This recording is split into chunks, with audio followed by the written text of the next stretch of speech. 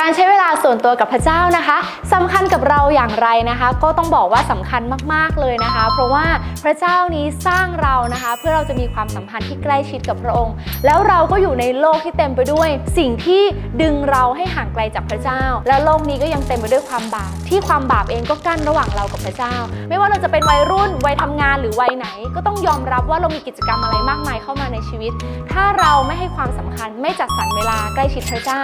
เราก็จะยิ่งห่างไกลจากพระเจ้า เพราะฉะนั้นการใช้เวลากับพระเจ้า แม้กระทั่งส่วนตัวหรือกับพี่น้องในคิดจักถึงสำคัญมากๆนะคะเพราะพระสัญญาของพระเจ้าในยอห์น15 ก็บอกไว้แล้วว่า ถ้าเราติดสนิทอยู่กับพระเจ้า เราก็จะเกิดผลมาก ซึ่งก็ต้องยอมรับว่าพี่บลูเองนะคะ ก็ยึดพระสัญญานี้ อยากเป็นคนที่เกิดผลมาก อยากทำสิ่งที่เป็นน้ำพระทัยของพระเจ้า ก็จึงเลือกที่จะใช้เวลาส่วนตัวกับพระเจ้า อย่าลืมใช้เวลากับพระเจ้านะคะ